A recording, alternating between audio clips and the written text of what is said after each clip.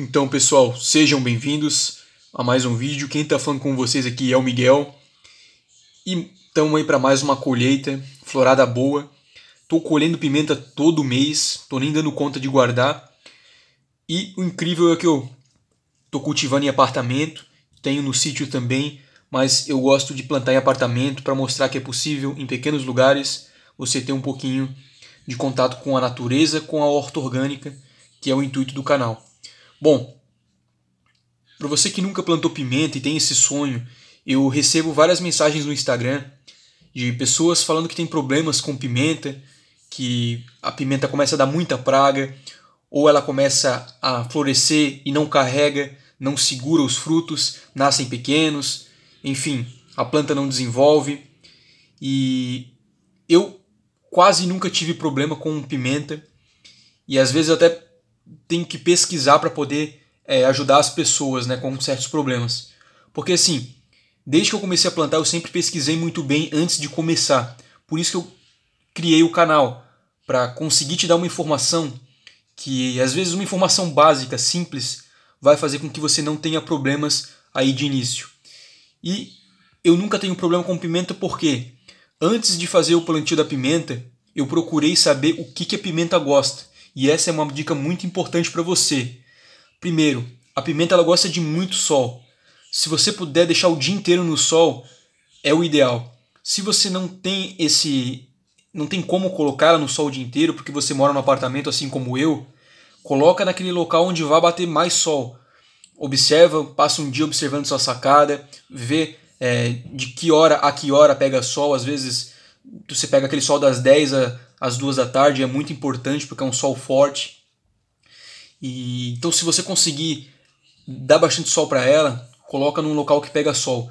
Pimenta sem sol dá problema, fungo não cresce, não faz fotossíntese da maneira correta. Então, muito importante.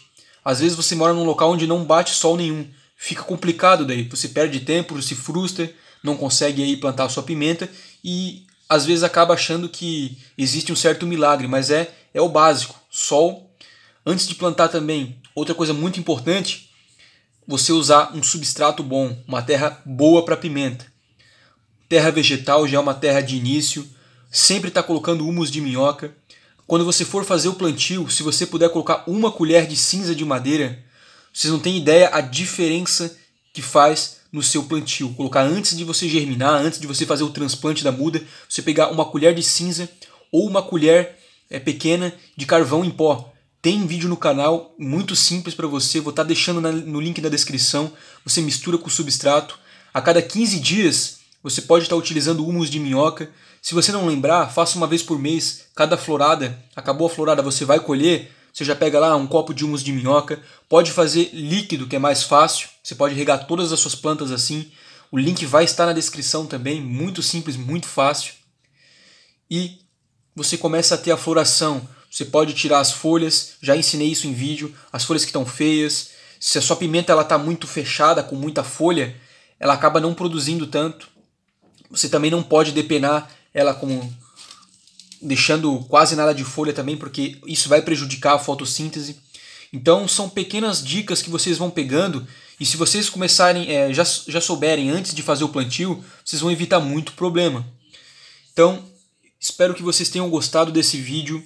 Sempre repito é, os conteúdos, toda vez que eu é, toda vez que eu aprendo alguma coisa eu passo, porque às vezes é uma coisa que vai te fazer ter sucesso ou ter fracasso no plantio. Então, pimenta, dê sol a ela, muito importante.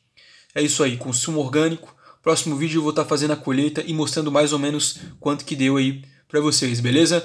Eu sou o Miguel e até um próximo vídeo.